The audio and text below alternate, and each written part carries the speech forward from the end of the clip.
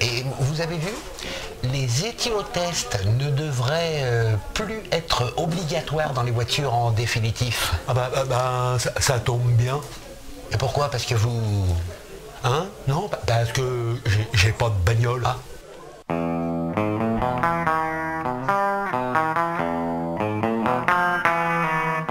À la vôtre. À, à- à la vôtre.